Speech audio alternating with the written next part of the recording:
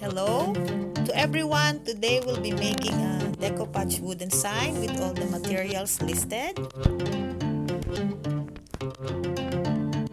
And we will start by painting our wooden sign.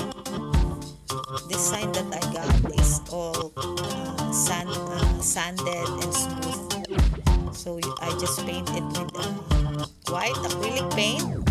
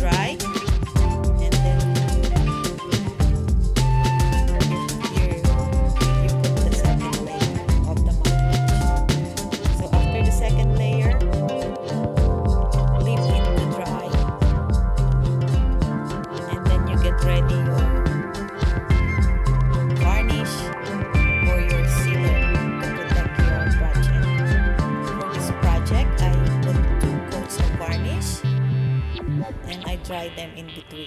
And now this is the finished product. Thank you for watching.